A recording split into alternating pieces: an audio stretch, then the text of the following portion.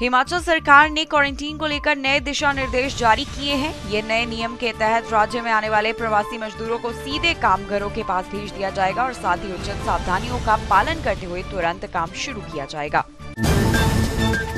श्रीलंका में भारतीय उच्च योग ने कहा कि वंदे भारत मिशन के तीसरे चरण के तहत श्रीलंका में फंसे भारतीय नागरिकों की वापसी विशेष एयर इंडिया की उड़ान से होगी। एक्टर सुशांत सिंह राजपूत अब इस दुनिया में नहीं रहे। उन्होंने कल मुंबई में अपने फ्लैट में फांसी लगाकर आत्महत्या कर ली। आज उनका मुंबई में अंतिम संस्कार किया जाएगा। राज्य द्वारा संचालित तेल विपणन कंपनियों ने लगातार नौवे दिन, यानी आज पेट्रोल और डीजल की कीमत में वृद्धि की है। दिल्ली में 48 पैसे की बढ़ोतरी के बाद पेट्रोल अब छिहत्तर दशमलव छब्बीस रूपए प्रति लीटर हो गया है।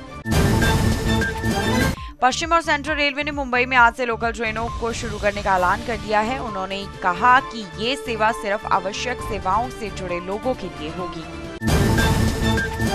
यूके में बीते 24 घंटे में 36 और कोविड 19 से प्रभावित मरीजों की मौत हो गई है। इसके साथ ही अब मौतों का कुल आंकड़ा इकतालीस हज़ार छह सौ अट्ठानवे तक पहुँच गया है।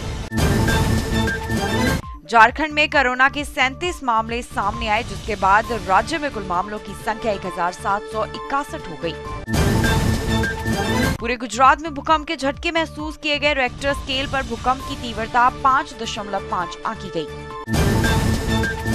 हैदराबाद के गांधी अस्पताल में भर्ती कोरोना वायरस का संदिग्ध मरीज़ 15 दिनों से गायब है संदिग्ध मरीज़ के परिवार ने इसका दावा किया है दुनिया भर के साथ साथ पंजाब के अलग अलग जिलों में लगातार कोरोना के बढ़ रहे प्रभाव के मद्देनजर कैप्टन सरकार द्वारा तालाबंदी के बाद आज बाज़ार खुलते ही लोगों की आमद में इजाफा देखने को मिला, परंतु इस दौरान लोगों द्वारा सोशल डिस्टेंसिंग की जमकर धज्जियाँ उड़ाई गई।